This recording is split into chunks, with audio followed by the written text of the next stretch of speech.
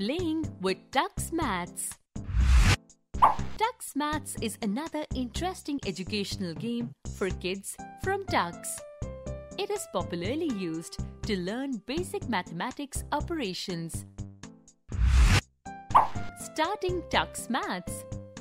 To open the application, on the desktop, click on this icon or click on the Start button from the desktop or the Windows key from the keyboard.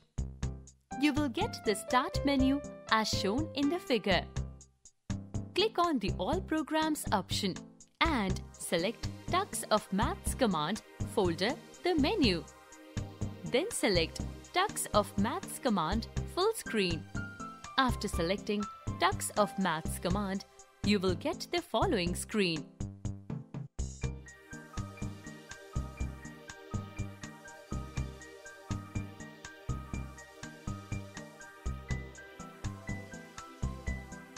You will see the addition sums started falling.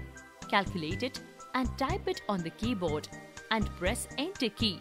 After pressing the enter key, you will notice the cosmic rays will be fired from the output area and hitting the corresponding sum. To close the Tux of Maths application, go to Main menu and select the Quit option.